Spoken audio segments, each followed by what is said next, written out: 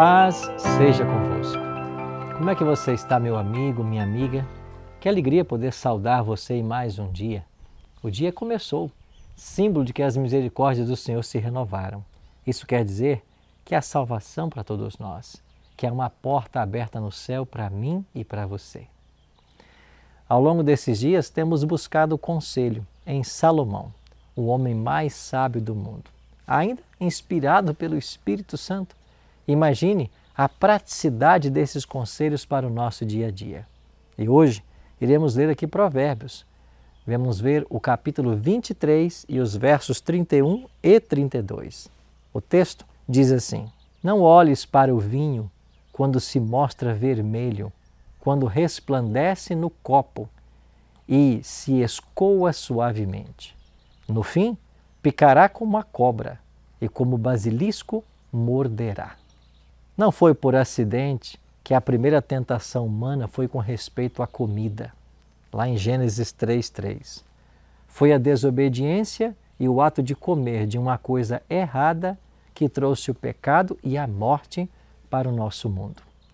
Não devemos nos esquecer também do fato de que a primeira menção de ingestão de vinho na Bíblia é apresentada numa história terrivelmente negativa e degradante.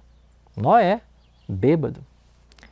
Certamente, nem todo mundo que bebe se torna um bêbado, caído na sarjeta, mas é muito provável que os bêbados que estão na sarjeta jamais imaginaram, na primeira vez em que tomaram uma bebida, que um dia acabariam nela. Aquele que adquiriu o hábito de ingerir bebidas alcoólicas está numa situação desesperadora. Não se pode argumentar com ele, nem o persuadir a se privar dessa condescendência.